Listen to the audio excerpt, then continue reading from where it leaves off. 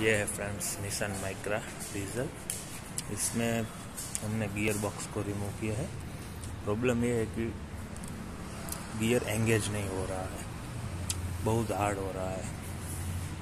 तो हमने gear box remove किया है। तो इसमें क्लच बेरिंग आप देख सकते हैं। थोड़ी कंडीशन खराब है।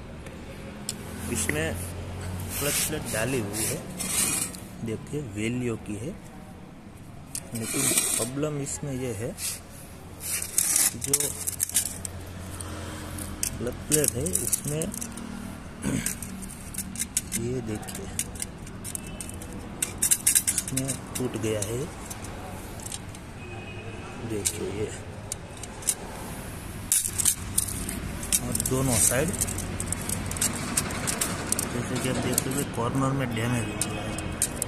अंदर से टूट गया।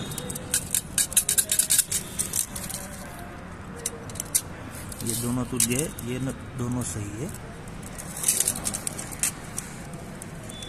तो अब डालेंगे इसमें original clutch plate pressure plate और क्लच बेरिंग प्रॉब्लम हो जाएगा सॉल्व थैंक यू